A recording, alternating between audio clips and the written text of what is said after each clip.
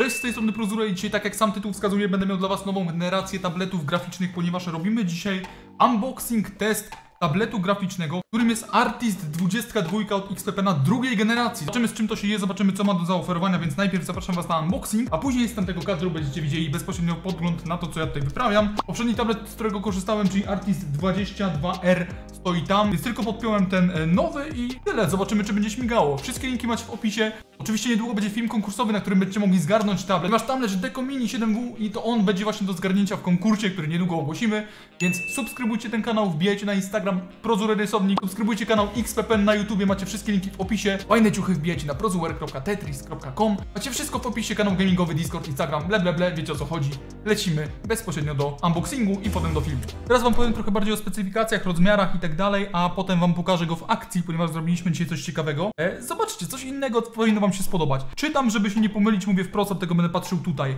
E, tak jak mówiłem, Artist 22 drugiej generacji. Powiem wam tak, przede wszystkim nie ma klawiszy funkcyjnych. Pierwszej generacji, ten, którego używałem wcześniej, miał klawisze funkcyjne, chyba 10 sztuk po lewej i prawej stronie, więc był lewo i praworęczny. Teraz klawiszy funkcyjnych nie ma, ale jest u góry. E, panel nie jest dotykowy. Przy 22R Artiście jest panel dotykowy. Tutaj nie ma panelu dotykowego, mi to akurat odpowiada, bo często mi się zdarzało na tamtym klikać, bo tam stoi 22R. E, na nim właśnie korzystam sobie w firmie. Tutaj nie klikniecie nic przez przypadek, więc to jest pierwsze, co się rzuca w oczy. Piórko bardzo lekutkie, dobrze wykonane, nie zrezygnowali z tej powierzchni tutaj e, chroniącej palce. Takie matowe, nie jest to guma, jest to taki matowy jakiś materiał, żeby wam się nie ślizgało. To jest akurat spoko. Rękawiczka klasyk, tak jak w poprzednich, rozciągliwa, dopasowuje się do każdej ręki. NTSC ma aż 86% mm, celności, czy tam po prostu oddawania kolorów, więc to jest sporo. Poprzednia wersja aż tyle nie miała. Adobe RGB ma 90%, więc to jest standard. sRGB ma aż 122%.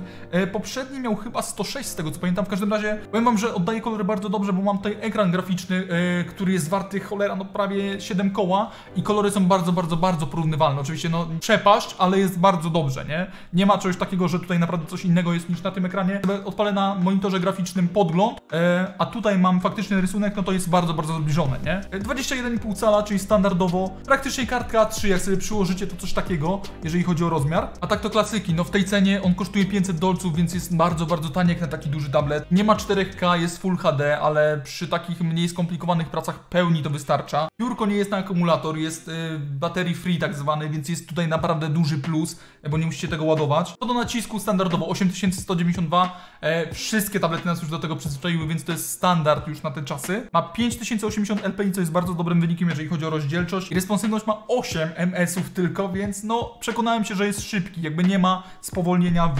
odbiorze. W samym kartonie macie stylus, rękawiczkę, oczywiście instrukcję obsługi, kable macie na standardzie europejskim i amerykańskim, więc to jest super, niezależnie tam gdzie mieszkacie, to macie dwa kable, więc do każdej wtyki wam pasuje, nawet możecie go sobie zabrać za granicę i będzie pasował. Oczywiście standardowo wtyka USB-C do USB pod kompa, albo USB-C, USB-C pod nowe laptopy, chociażby ja w Zephyrusie sobie tak podłączam, bo jest mi wygodniej, bo tam jest mało USB, a dużo USB-C i Thunderboltów, więc tak jest mi przyjemniej. Tutaj w końcu wykorzystali pokrywę na kable, żeby się nie motało, jak często przemieszczacie tablet, żeby wam się nie zaklyszczyły, nie powyginały i tak dalej, więc to jest spoko. Poza tym stent jest tak jak w przypadku e, 22R, czyli tego nowszego modelu, jest już metalowy, jest dobrze, bardzo dostosowany, 60%, 60% pochylenia, więc w sumie tyle ode mnie. Oczywiście, że jest zasilacz, kabel do kontaktu bezpośrednio i kabel HDMI i HDMI, żeby to podłączyć do karty graficznej bądź właśnie laptopa. Tyle, lecimy do samej pracy, żebyście mogli zobaczyć, jak on się faktycznie w akcji sprawuje. Słuchajcie, unboxing już był. E, ja sobie jeszcze wymienię rysik, żeby było wszystko na pewno nówka sztuka, chociaż widzę, że że mam nówkę wsadzoną. Tak jak mówiłem, stworzymy sobie kilka rzeczy. Ja też nie jestem mistrzem teksturowania, bo wiecie doskonale, dla wszystkich nowych widzów, ja rysuję ogólnie 2D, ja tworzę proste animacje 2D, robię też rysunki, które są naprawdę, naprawdę niesamowicie proste, ponieważ przechodziłem przez wiele etapów życia i rysowania, przez jakieś rycerze, smoki i tak dalej, po tworzenie jakichś tam e, symboli do gier, Potem robiłem bardzo, bardzo dziwne rysunki 2D z elementami takiego, najbliżej było temu do cel shadingu, jakieś klimaty Borderlands są podobne. E, W tej chwili robię naprawdę niesamowicie proste ilustracje i dobrze mi z tym e, i jakoś tak, jakieś też opowiem o drodze mojego rozwoju artystycznego, ale dobra, słuchajcie, najpierw sobie zobaczmy co ten tablet ma do zaoferowania, tak jak mówiłem wcześniej. Dobra, słuchajcie, bez zbędnego gadania zrobimy sobie parę rzeczy. Najpierw ja sobie na pewno narysuję e, coś prostego, tak jak mówiłem. Weźmy sobie, stwórzmy jakąś prostą teksturkę drewna. Ja, tak mówię, nie jestem profesjonalistą w tych rzeczach, ale chcę zobaczyć, chcę przetestować ten tablet. Przede wszystkim wszystkie podstawowe opcje, ok? Zanim cokolwiek. Może nie aż tak wielki pędzel, ale weźmy sobie 250, piątkę. Zobaczmy jak z naciskiem. Ok. Całkiem przyzwoicie. Sobie 125 i zobaczmy to tak realnie. Żeby nie było, ja nie kalibrowałem go, nie? Nic tutaj nie ustawiałem, jeżeli chodzi o ruch nacisku. Ja wejdę sobie w ustawienia XPPA.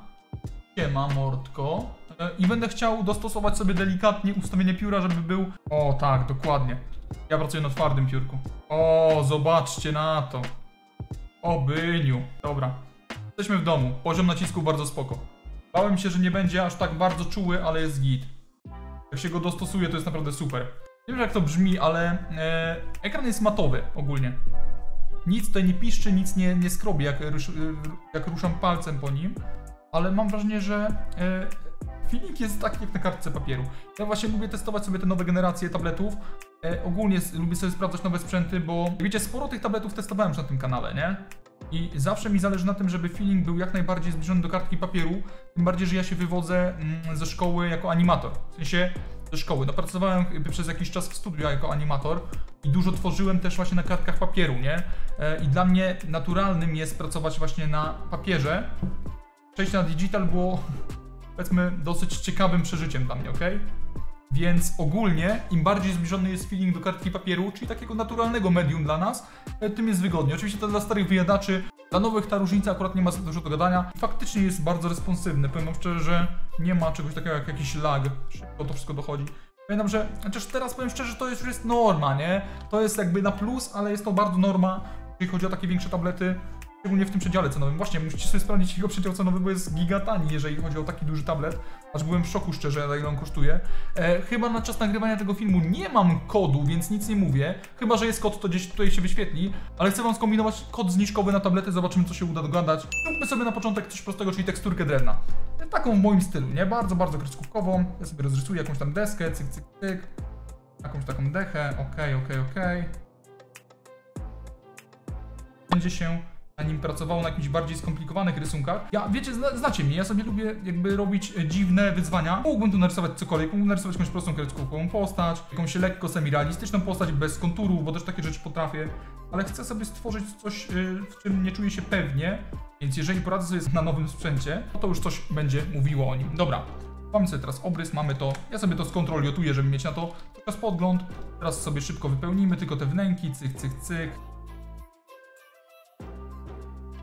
Ja wam już wielokrotnie mówiłem, że jeżeli chodzi o tablety, to ja z XPP-nami dosyć długo już żyję i długo ich używam, a używałem dużej, dużej ilości różnych, różnistych tabletów, ale zawsze lubię sobie sprawdzić nowy tablet pod względem feelingu i przede wszystkim właśnie mi zależy na tym, żeby ekran nie był śliski, bo jeżeli ekran jest śliski, przede wszystkim ja mam tutaj światło mocne, z tyłu mam jeszcze lampy, co widzicie pewnie w tym kadrze, em, bardzo by mi się odbijało w ekranie, jeżeli by był śliski ekran, czy tam po- powiedzmy lśniący, nie? Mm, Przez to, że oni mają tematowe ekrany, to jest nap- naprawdę spoko i ja często sobie korzystam z takiego ekranu potem jako z monitora też, nie? Bo jakby mógłbym wam mówić o responsywności oczywiście, nie? Tak jak tam pewnie mówię na unboxingu, bo na pewno musiałem wam wspomnieć, ponieważ wejdą tutaj też osoby zainteresowane strictem zakupem tego sprzętu i ja to rozumiem jak najbardziej, nie? E, teraz oczywiście zduplikowałem sobie cień i dorysowuję tam, gdzie powinienem, żeby było ciemniejsze, to sobie dorysowuję tam, gdzie nie ma być, to po prostu zmazuję gumką i tak dalej, i tak dalej. To jest bardzo prosty etap. Znacie mnie, ci, którzy wiedzą jak rysuję, to e, nie będą się czuli zagubieni, ale wolę to powiedzieć na głos. Ja też dla tych, którzy szukają tutaj bardzo, bardzo specjalistycznego podejścia do tabletu. Jeżeli chodzi o jego specyfikację, no to jakby wiecie, że e, nowoczesne już tablety i generalnie technika przyzwyczajona do pewnych standardów, czyli 8192 punkty nacisku, wysoka responsywność, e, Full HD, czasami są w 4K, te, te nowsze tablety są w 4K. Przy 21 calach szczerze w tej cenie nie spodziewałbym się 4K, więc faktycznie jest Full HD i jakby no w pełni, w pełni ok jestem z tym, że jest Full HD, ponieważ no come on, no, on kosztuje tyle ile kosztuje, nie? Także jak w tej cenie Full HD to i tak jest bardzo dobra jakość.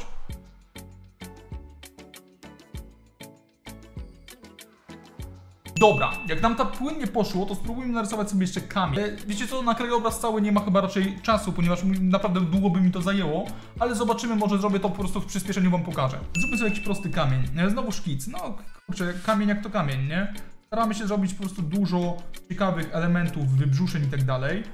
Cyk, cyk, cyk. Jeżeli byście chcieli też poradnik taki od A do Z, chociaż ja szczerze wam, zawsze wam mówię, jak wy mnie się pytacie, Rozu, zrobić poradnik na przykład jak narysować kamień, albo jak narysować ugiętą tkaninę i tak dalej. Mógłbym, bo coś tam mam wrażenie, że potrafię, ale czy ja potrafię na tyle, żeby to robić y, pewnie, nie wiem. Em, często unikam raczej, bo inaczej, ja jestem samoukiem, ok? Ja coś tam robię tylko na kursach, czasem dokształcam się kursami, ale wszystko to, co widzicie, nauczyłem się sam z siebie.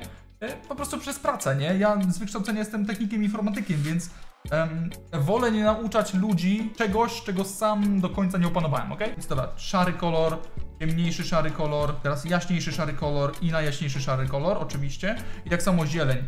Więc ja sobie mogę pobacgrać, mogę wam ocenić sprzęt jako e, gość, który faktycznie robi animacje profesjonalnie, nie? E, I zarabia na tym pieniądze, no bo profesjonalistą chcąc nie chcąc jestem, bo no zarabia na tym pieniądze, prawda? Ale tak, żeby wam coś, y, jakby nauczyć was czegoś, no to trochę bym się chyba bał. Nie wiem, czy wiecie o co chodzi, ale wydaje mi się, że powinniście kumać, co mam na myśli, nie? Jak nie chcę was nauczyć czegoś, y, co wyjdzie wam potem na złe, nie? Jak będę przekonany, że coś potrafię w 100% i że wyciągniecie z tego słuszną lekcję, albo jeżeli wam się to spodoba, co tutaj na was grałem, to mogę wam zrobić krok po kroku, jak zrobić teksturę drewna, jak zrobić teksturę kamienia i tak dalej, i tak dalej, okej? Wtedy pełen luz, ale to będzie jak zrobić teksturę jak prozurę, a nie jak zrobić y, właściwą, okej? Bo ja nie wiem, jaka jest właściwa, ja robię tak, jak mi e, podpowiada, kurczę, moja głowa i moje oczy, okej?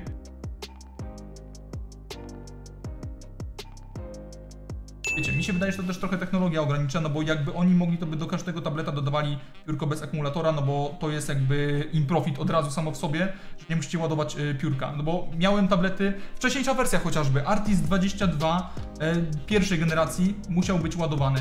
Wiem, bo korzystałem z niego długo, potem korzystała z tego, potem korzystała z niego moja dziewczyna e, i właśnie wiem, że to była udręka, bo no, na nim się popracowało powiedzmy 3-4 godzinki, no i piórko już pomału zaczynało siadać, trzeba było je podładować, co nie? Tutaj tego na szczęście nie ma, więc ja ogólnie szanuję bardzo te, mm, te tablety, których już naprawdę te piórka są samowystarczalne, no ale to też jest już przyzwyczajone, jakby wszystkie droższe tablety przy jakichś tam większych stawkach to już mają jako e, must have po prostu, co nie? Teraz też zależy, co dla was jest większą stawką, no bo ten tablet kosztuje, żeby was nie skłamać, ja już sprawdzę, ale on kosztuje 400 z hakiem dolców z tego co wiem, co jest przeliczenie na polskie ile? 1600 zł?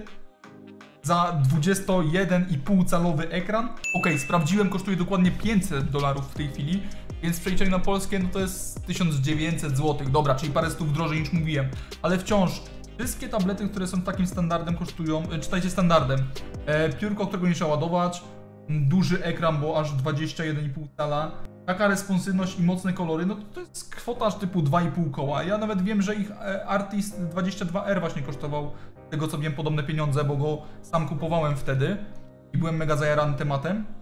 Miałem tak, że jak przerzucałem się ze sprzętu na sprzęt, to czułem się dziwnie. Jakby miałem ten problem jak przy pierwszym przerzucie z kartki na tablet, że jak co, na, jak na czymś już długo pracujecie, e, to już się przyzwyczajacie do tego, jak się zachowuje e, dany sprzęt, nie? Jak się zachowuje piórko na tym sprzęcie, jak się sam ekran zachowuje i tak dalej, i tak dalej, nie?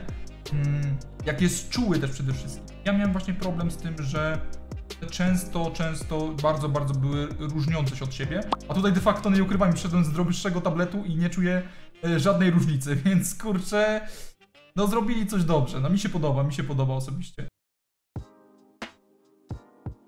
Tylko, że dalej nie mamy tego brudu, nie? A zależało mi na tym brudzie takim. Hmm. Ja też tak jak mówię, no większość rzeczy rysuję w firmie, tam gdzie mam e, główny sprzęt, tutaj no nie bardzo mam dostęp, tutaj tylko nagrywam, ale zobaczymy, czy mam jakiś taki kurczę brudny pędzelek.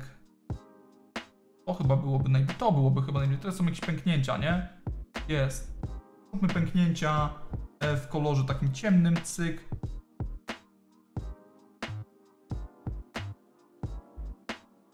Bardzo dynamiczny, jeżeli chodzi o odbiór tego, jak się po nim rysuje, nie ma żadnych lagów. E, Ekran matowy, więc spoko. Wielkość, no jak sami wiecie, najlepsza, 21,5 cala. Mm, Te większe tablety to już chyba są naprawdę dla ludzi, którzy lubią rysować i dziobać w szczególikach. Nie jest to dla mnie, ja akurat takich bardzo skomplikowanych prac nie robię. E, To jest jakby maks tego, co ja robię szczegółowo, nie? Więc no, mi to jest niepotrzebne. Ogólnie bardzo, bardzo dobrze. Słuchajcie, mam nadzieję, że Wam się podobało. To byłem ja, to był Artist 22 e, drugiej generacji. Nowy tablet, który niedługo wchodzi na rynek. Nie wiem, czy w Polsce już jest, ale na pewno niedługo będzie. Jeżeli będą kody zniżkowe, dam Wam znać. Słuchajcie, jestem bardzo zadowolony z tabletu, bo bałem się, że będę musiał mówić jakieś negatywy. Odbierasz nacisk jest taki i siaki, że nie wiem, że kabel mi nie styka, że sterowniki będę musiał instalować nowe. Okazuje się, że nie, no podłączyłem działa i po prostu zacząłem w nim rysować, tak jakbym nagrywał każdy inny odcinek kiedykolwiek, tak szczerze. Jeszcze takich rzeczy nie ma klawiszy funkcyjnych po bokach. Tyle jest fajnie, że jak ktoś i tak używa klawiatury, tak jak w moim przypadku, ja pracuję na klawiaturze swoją drogą bardzo śmiesznej, bo wszystkie wyrwane klawisze, tutaj są klawisze funkcyjne, które mi przeszkadzały, bo nie miałem escape'a na rogu, a tutaj są wszystkie klawisze, które ja wywaliłem przy montażu, ponieważ wszystkie te guziki e, były mi niepotrzebne w montażu, mm, a w innych programach coś robiły, więc nie mogłem sobie tego e, po prostu usunąć z bindów, po prostu powyciągałem sobie klawisze i tyle. Często pytacie, czemu ja mam dziury w klawiaturze. Dobra, tyle ode mnie. Tablet mocno 9 na 10, jak jesteście zainteresowani, wbijajcie sobie. I tak jak mówię, niedługo jest konkurs, więc subskrybujcie ten kanał, zostawcie łapkę w górę, jeżeli wam się podobało. Jeżeli chcecie więcej takich specjalistycznych materiałów, albo faktycznie czujecie się, że chcecie ode mnie poradniki, jak robić takie rzeczy, no to dajcie mi znać wtedy. Ja w komentarzu zostawię pewnie, e, czy chcecie poradniki tego typu. Jak dacie łapkę w górę, to na pewno się nad tym zastanowię. I słuchajcie, każdy kolejny tysiąc łapek w górę pod tym filmem gwarantuje to, że będzie więcej nagród w konkursie, to ja wam już gwarantuję z mojej kieszeni, więc nic, tylko lajkować, subować kanał.